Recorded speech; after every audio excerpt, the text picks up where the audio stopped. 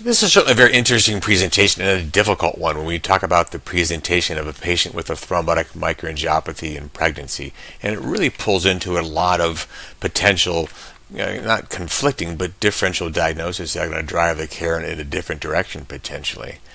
And, and, Dr. Scully, you have certainly some expertise in pregnancy-associated TMAs. What are your thoughts on this, the presentation and differentiating what might be TTP from other pregnancy complications? Thank you, Spero. Of course, it's easy in hindsight, but in hindsight, if we look at the parameters in this particular patient, she did not have liver abnormalities, but she had a very high LDH, which is quite specific for TMAs.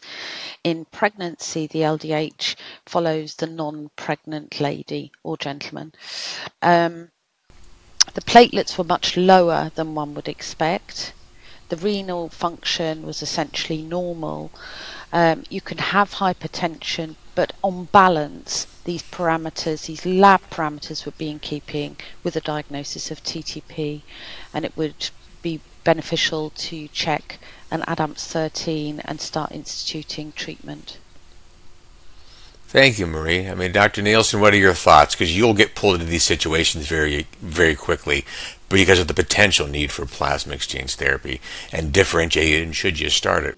Uh, as an apheresis physician and as a blood banker, I always appreciate being called early whenever uh, TTP is part of a differential diagnosis because whatever we can do to help expedite the initiation of therapy, be it plasma exchange, uh, acquiring the plasma, so on and so forth, can really help um, influence the timeliness of therapies that are delivered for uh, ITTP.